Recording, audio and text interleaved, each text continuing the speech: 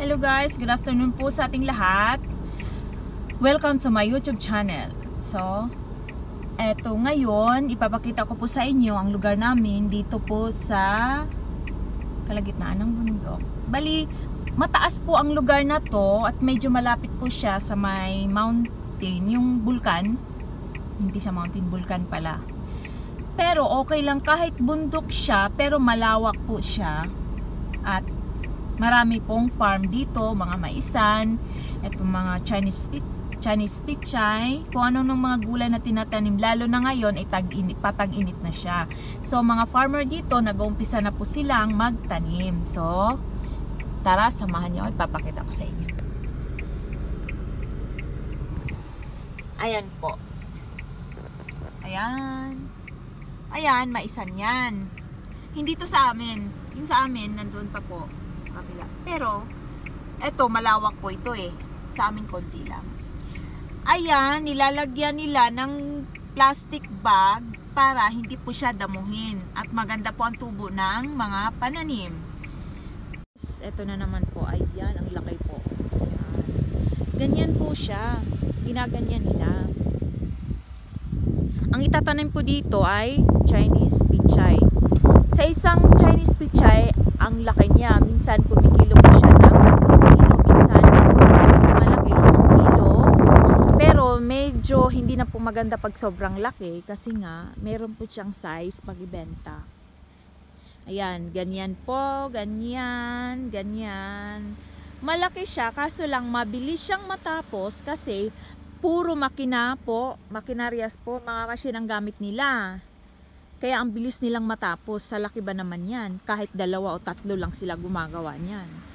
Hindi lang po ito ang ano nila, ang lupain nila, lalo na yung nagtatanim ng Chinese pichay kasi yun po ang kabuhayan nila. Marami pa po silang mga lupain. Dito, doon pa po sa kabila, doon pa po sa dulo, dito dyan. Ayan. Ayan po, ayan. Kabila. Ayan mga buntok yan. Jungle. Ayan, ayan, ayan. Ayan, ayan po ang aming sibuyas. Sibuyas dahon. Ganyan po pagtanim nila dito. Bali, parang ang laki ng ano. Parang kanal. No? Ayan. Malalim po siya, malalim. Tapos pag lumalaki na siya, lalagyan po ng lupa dyan. Ayan. Ganyan po pagtanim. Ayan. Kunin na ni. Ano mami dahil? Mami? Ah, ito mga beans. Ayan, beans. Ayan, beans siya. O, tingnan niyo. Tingnan niyo. Ayan. Indo mami. Indo mami. Ayan. Ayan. Ayan, guys. Ganda ng bulaklak. Ayan. So, dito po sa lugar namin, puro ano, puro farm. Ayan. Pero maganda, kahit summer dito, sobrang init sa sa city, sobrang init. Pero dito sa lugar namin, ang, ang lamig po. Maganda yung lugar. Maganda siya. Kaya yung taga city, nagpupunta po dito. Ayan. So, thank you. Ayan. Ayan, ayan. Ang ganda ng flower. Ngayon lang yan mamumulaklak. Dati ang, ang nung ano, medyo naglalagas na po siya. Ayan, ang ganda. Pero hindi na yan sa amin. Ayan. Ganda po niya. Tingnan niyo. Wow. Mas maganda to nung nakaraan kasi nga ano talaga siya eh. Lahat ng mulaklak. Ngayon lang yan mumulaklak mga month of May guys, ipapakita ko po sa inyo ang aming mini garden. Andito po, may mga pananim po kami.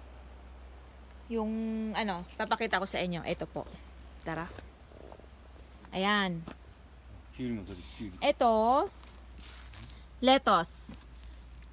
Kunti na lang, pwede na siyang i-harvest. Yan. Ito naman, kuriwa na ni? Lettuce rin mo. Ito, lettuce din. Maliit lang. Hindi po siya pwedeng itanim mo na na dire-diretso kasi nga hindi po makakain pag sabay-sabay po siyang ah, ano. Kaya, tinatanim siya alternate po para tamang-tama pag maubo siya, pwede naman po i-harvest yung iba. Tapos ito, cab cabbage. Ayan, konti na lang at magano na. Kaya po siya nilalagyan ng ganyan, guys Ayan. Kasi nga, madalas, inuuod siya. Yung mga butterfly, umaano siya, mm, umaano siya sa dahon, pag nalag, naano siya sa dahon, dumidikit, ayan, nag, nang, nangingitlog. Kaya, kinakain po ng uod. Ayan. Kaya nilalagyan ng net. Ayan po. Tapos, ayan, tataniman na po siya. Lalagyan nito yung plastic kasi para hindi po siya maganda yung tubo ng dahon, ay yung pananim. Hindi po siya madamuhan. Ito po ang aming ayan lemongrass. Nabili ko po ito, medyo mahal kasi walang gaanong nagtatanim nito eh. Medyo mahal po, pero ayos lang kasi pag dumadami, okay din naman. Hina-harvest ko yan pag malapit ng taglamig dito, mga month of October. Tapos, inaano ko siya.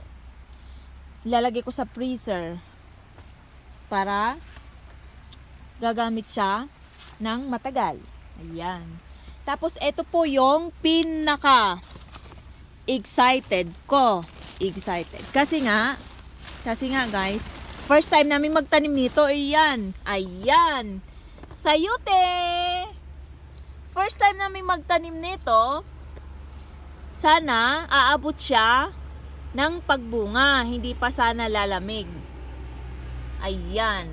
Kumakapit na po siya. Ayan, kumakapit na po siya. Nung binili ko to last April, maliit pa lang yan. Sa bahay ko lang po siya pinapasok kasi medyo malamig pa po kasi. Eh ngayon, tinatanim na namin. Pero, tinatakpan muna namin neto kasi pag umaga kasi, mga madaling ah, hanggang alas 6 ata, magpa-fog kasi siya. Eh, mamamatay siya pag maano siya sa fog. Ayan. Ayan, mga sili. Ayan, sili. Ito, sili. Ito, ano ba to? Pasili? Kunan. Kaya, kaya. Yung okra, ano ba yan? Sili. ピーマンのあれだよででであこれはあのセロリだよ Ah, celery. Celery. Ayan. Kulang Sa na rin. celery. 赤ピーマン黄色ピーマン Ito, talong. Ayan po. Tsaka, 赤ピーマン黄色ピーマンだぞ nilalagyan po namin itong plastic guys kasi nga, pamprotekta po siya sa lamig. Medyo malamig pa po kasi ang panahon ngayon dito. Hindi pa siya totaling mainit talaga. Mga month of July o kaya mga June, kalagitnaan, ayan. Dito, mga talong. Ayan. Ay, ano ba to? Hindi, spinach pala yan. Spinach. Ayan, maliliit. Ayan, maliliit pa niya, oh. Spinach yan. Ayan naman, talong. Yan, lalagyan siya ng cover para hindi po siya lamigin. Kasi mamamatay siya pag maano siya sa lamig, masapag. Ayan, ayan, ito po yung ano namin, yung ampalaya. Ampalaya, maliit pa siya. Ayan. Ito, melon. Ayan. Sigaw yun. Melon ba to? Curie?